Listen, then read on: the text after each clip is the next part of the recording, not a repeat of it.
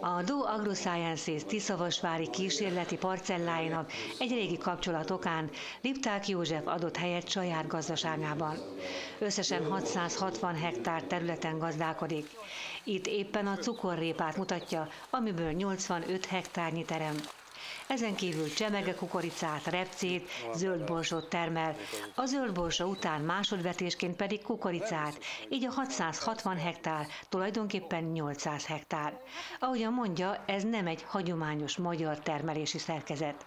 Nem csak mi, Tiszavasvárban nagyon sok gazda ezt csinálja, mint mi, vagy mi azt csináljuk, mint ők. Tehát intenzív növényeket termelünk, aminek a árbevétele másfélszeres esetenként kétszeres, egy hagyományos egy búzának, kukoricának, aminek a piaca is ugye enyhén szólva veszélyeztetett és ugye erre rá kell állnunk. Azt kell termelni, amelyiket egyrészt igényel, hozzáadott érték megvan, több embernek biztosítja ugye a foglalkoztatását, mi ebbe az irányba elmentünk. Az elsők között álltak át a környéken a precíziós gazdálkodásra, mintegy 400 hektáron öntöznek a legkorszerűbb eszközökkel, és igyekeznek alkalmazni a jövedelmezőséget javító új technológiákat is, például a repcében.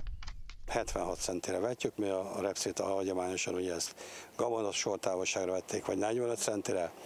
Nagyon sok növényvédőszer tudok így megtakarítani, ami egyrészt ugye költségmegtakarítás, jövedelemnövelő tényező, a másik oldalon meg ugye a zöldeknek is eleget teszünk, hogy, és, és ténylegesen nem szükséges annyi növényvédőszert kiadni, mert csak a sort permetezem.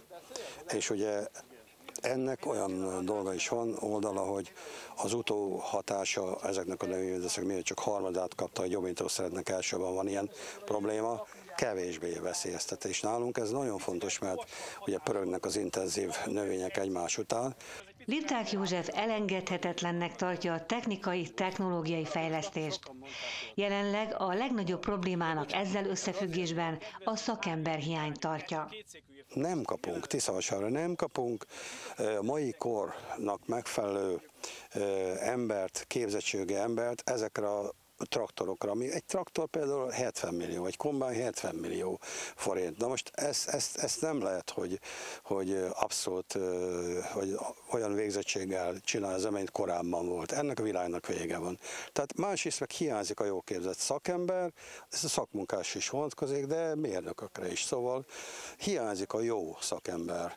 Van itt, de, de a képzésük, én részt vettem ugye vizsgáztatáson egyetemen, és láttam, láttam, nem ők tehetnek róla, én mindig elmondtam, nem ők tehetnek róla, elkalandozok egy kicsit, de fontos dolog, hogy az oktatásnak nem ebbe az irányba kell menni, hanem tényleg a gyakorlati igényének megfelelően képezni az embereket.